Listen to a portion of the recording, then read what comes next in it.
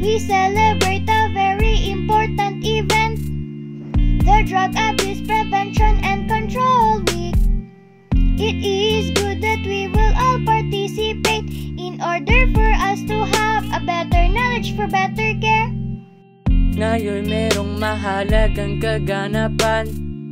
Ang pag-iwas at pagkontrol sa droga Pagkaroon ng pahusay na kaalaman para sa mas mahusay na pangangalaga. Karo nga dunay hinundaro lang hitabo Ang paglikay o pagpugong sa droga Araw nga dunay kitang tanan diri ah, Maayo na mahibawan alang sa maayong pag-amping Ang kalusugan dapat ay alagaan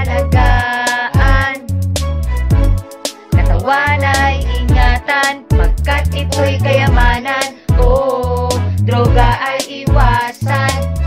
Oo, ang kalusugan Dapat ay alagaan Katawan ay ingatan Pagkat ito'y kayamanan. Oo, droga ay iwasan.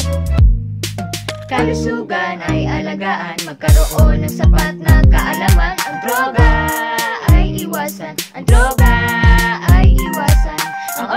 natin ay ilaan Sa mga bagay na makabuluhan. Ang droga ay iwasan. Ang droga ay iwasan.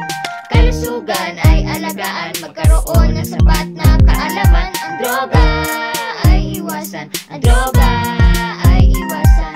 Ang oras natin ay ilaan sa mga bagay